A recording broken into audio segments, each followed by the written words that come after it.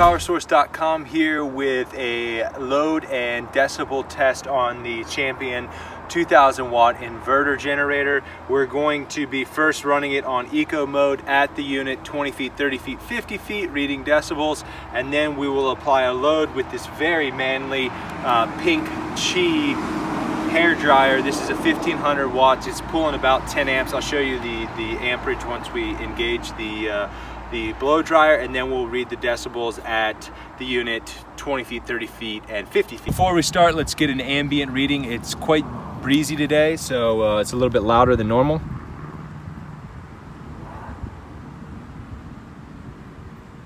About 48 to 50 decibels depending if a car is passing if a plane's going over or the wind's blowing. So uh, let's just say roughly 48 to 49 decibels ambient.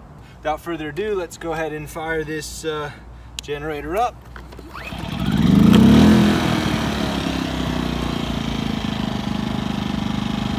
All right, so right away we're putting out 118 now, 120, almost 120 volts, right on the money.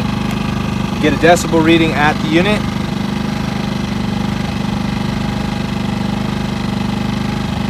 Seventy-six and a half to 77 decibels will go to 20 feet. 59 decibels at 20 feet will go to 30. 55, 56 decibels at 30 feet, and now at 50 feet. 54 decibels at 50 feet. Now we'll go ahead and apply the load, that 1400 watt blow dryer. We'll watch the voltage drop, and let's also watch uh, the jump in amps, and then of course we're gonna get an increase in decibels. So try to keep an eye on this.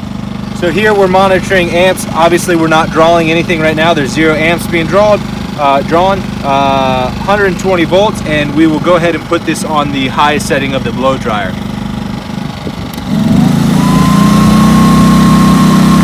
I dropped to 76 volts and then up to now 100 and over 120. And you can see we're drawing 10.1 amps. 88, 89 decibels. We'll do that one more time. So now we've come back to 120 volts. We're dropped down to zero amps because nothing's being drawn. 78 decibels and here comes the load.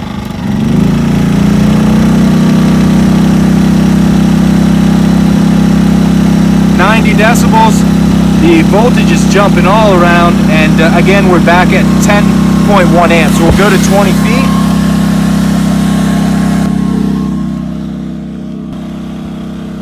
69 decibels will go to 30, 67 decibels, and now to 50. 62 decibels at 50 feet under load for the Champion 2000 watt inverter generator.